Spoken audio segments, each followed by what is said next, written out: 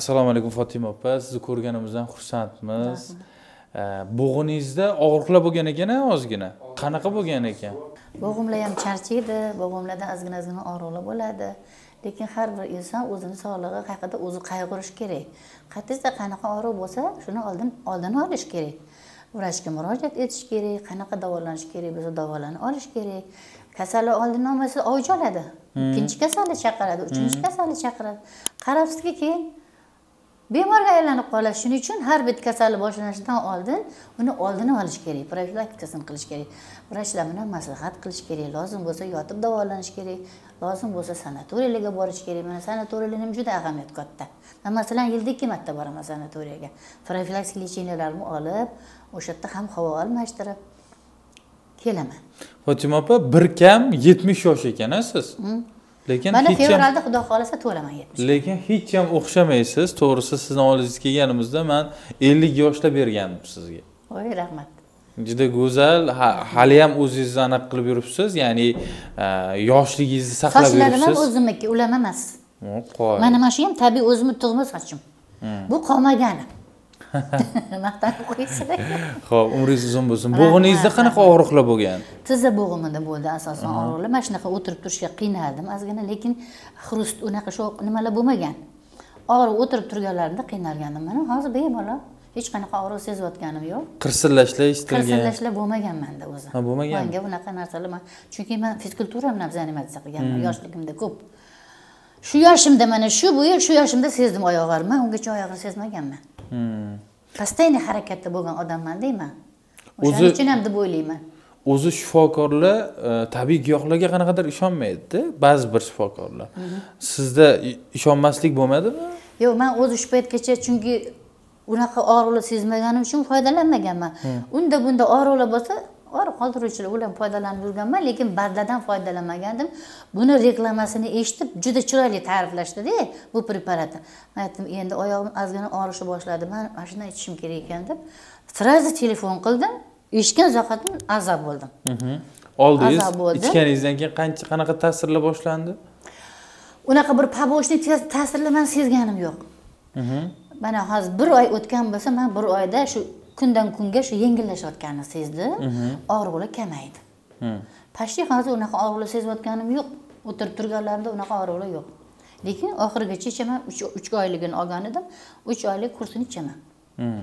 hozir e, o'sha mazla ham chiqqan bizada ishlatmagan yo'q bo'lsangiz kerak. mazza ishlatmaganman. Maza ham yaxshi foyda beryapti shu shu preparatda mazza ham chiqqanda sizda Hmm. O'sha ham o'sha misol uchun og'rigan joylariga yaxshi yordamchi vazifasini bajaradi. O'zi tabiiy giyohlar ichib turish kerakmi opa endi shifokor sifatida ham. Kerak kerak. Chunki bilasizmi mana yil o'tgan sari e, insonlarni boladir kattadir immunitet pasayib ketyapti hozir. Chunki biza tabiiy narsalar qabul qilmayapmiz ichgan suvimizdan tortib ximikat olgan nafasimizdan tortib ximikat.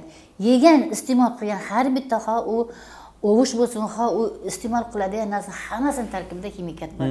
Yeyotgan narsamiz hammasi uglevod oqsil yo'q. Hmm. bu birinchi sababi. Ikkinchisi ijtimoiy sharoit yashash sharoiti ham bog'liq insonlarga. Havo. Havo.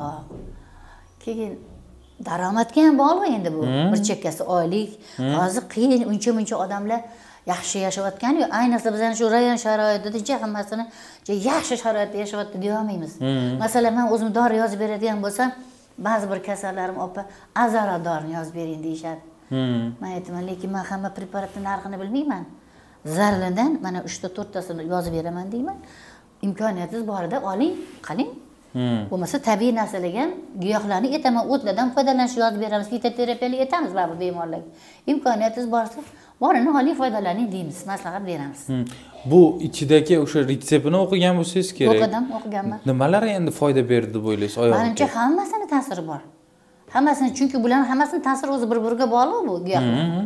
Juda bir biriga bog'liq o'shaning uchun ham deb o'yladim man yaxshi lekin manga yaxshi ta'sir qildi. Hmm. mana o'zi e, bizni e, hozir o'zi o'zbekistonda juda yam batlar ko'payib ketdi. Juda ko'payib ketdi. Reklamalar ham ko'p. ha ularni ko'rib endi baribir odam qaysi biriga ishongisi kelmay qoladi. Ba'zilari teskari ta'sir qilyapti ba'zilari yaxshi yordam beryapti. Mandan ham so'raydi bemorlar. Rossiyadan kelgan boshqa chet davlatdan kelgan shunaqa preparatlarni olib foydalanayotganlar ham kelib so'raydi ba'zi bir kasallarimni so'raydi bemorlar. Man aytamanki sizlar o'z o'zida ishlab chiqarayotganini olinglar baraka topqirlar chunki chet davlatda hammasi bizani toddiy giyohlarni olib ketib o'sha yerdan tayyorlaydida bizaga mana bunaqa tarqatadi reklama qiladi. Chiroyli o'zimizdan chiqayotganini olinglar har bitta aptekada o'qisanglar har bittasini ichiga yozib qo'ygan bo'ladi. Qayerdaki bu ishlab chiqargan joyi. O'shalar giyohlarni hammasi o'zbekistondan olib ketib mana bunaqa bat qilib tayyorlab chiqib sotishyapti hamma aptekalarda sotadi bunaqa badlarni bemalol olib ishlatishinglar mumkin deyman tavsiya qilaman olib ichadiganlar ham yo'q emas bor. Ichishadi. O'zi mana hozir bu mahsulotga aynan afiya mahsulotiga e, ko'pchilik ishonmayotgan bo'lishi mumkin bizni kuzatayotganlar orasida. E, ularga nima deya olasiz? Kimlargadir balki narxi to'g'ri kelmayotgan bo'lishi mumkin. Kimlardir bir oy ichib to'xtatib qo'ygan bo'lishi mumkin. Buni kurs lecheniya dedikmi? O'shanisini ichish kerak. Kimgadir uch oy deyilyapti kimgadir to'rt oy tavsiya qilib man oddiy misol o'zimiz ham oddiy o'zimizni preparatlarni buyursak mana bu olti soat.